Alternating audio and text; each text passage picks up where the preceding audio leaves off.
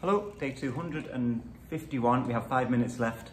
Myself and Dave stopped for a margarita on the way back from playing tonight. There's a local place doing $5 margaritas, so we thought we'd try one.